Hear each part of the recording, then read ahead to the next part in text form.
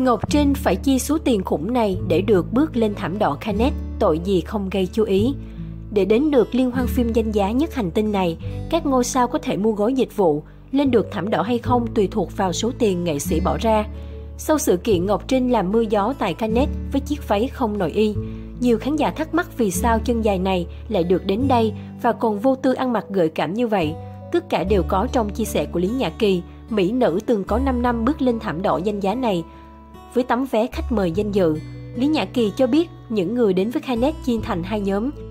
Nhóm thứ nhất là những khách mời đinh, gồm các ngôi sao nổi tiếng đến từ nhiều quốc gia khoảng 400-500 người, được ban tổ chức mời tham gia hoạt động chính thức trong khuôn khổ Khanet và đi thảm đỏ xuyên suốt 3 ngày. Nhóm còn lại khoảng 4.000, 5.000 khách xuất hiện với tư cách là khán giả. Thường đây sẽ là khách mời từ các thương hiệu hoặc tự mua vé đi thảm đỏ từ các dịch vụ. Nghe đến đây chắc ai cũng hiểu Ngọc Trinh nằm trong nhóm thứ hai. Lý Nhã Kỳ tiết lộ có hai nhóm khách mời và người tự mua vé đến với Khanet. Câu hỏi đặt ra là Ngọc Trinh mua vé bằng cách nào và chân dài tai tiếng này phải chi bao nhiêu tiền để được đi thảm đỏ một lần. Theo những thông tin Lý Nhã Kỳ cung cấp, những tấm vé được công ty dịch vụ tài trợ vào Khanet bán ra.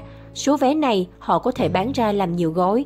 Ví dụ gói 10.000 euro đi thảm đỏ nhưng không có xe đưa đón, nghĩa là bạn phải đi bộ rất xa để vào khu vực thảm đỏ.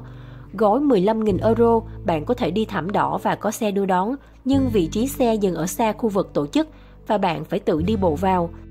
Dạng vé thứ ba là 20.000 euro, khách có vé này sẽ được xe đưa đón tới chân thảm đỏ, có nhiếp ảnh gia sẽ chụp ảnh cho bạn và được đi thảm đỏ.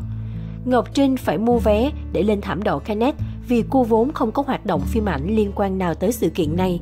Hình ảnh được cắt ra từ clip Ngọc Trinh bước từ xe hơi đi xuống thảm đỏ. Người đẹp nghiễm nhiên xuất hiện sang chảnh bằng tấm vé mua. Xế hộp sang trọng đưa đón từng nơi, theo như bản báo giá của Lý Nhã Kỳ, phần lớn cư dân mạng cho rằng Ngọc Trinh đã chơi trội chi hẳn 20.000 euro, tức là khoảng 550 triệu Việt Nam đồng, để lên thảm đỏ Canet với những ưu đại tốt nhất dành cho nhóm người mua vé. Với số tiền lớn như vậy, quả thật Ngọc Trinh đã suy nghĩ kỹ càng trước khi mang chiếc đầm mặc như không để nhằm gây sự chú ý. Xem lại hành trình tại Canet lần này của người đẹp Trà Vinh, có thể thấy cô hiên ngang bước lên thảm đỏ, có xe đón rất tận sảnh sự kiện và tha hồ đi qua đi lại thu hút các tay săn ảnh. Quả thật, cô nàng không đến Canet để làm công chúa, đến để nghe người ta chửi xem ra mới là mục đích cuối cùng của cô. Chi nửa tỷ để đem về chút danh tiếng, dù tiếng tốt hay xấu thì Trinh cũng đã được lời.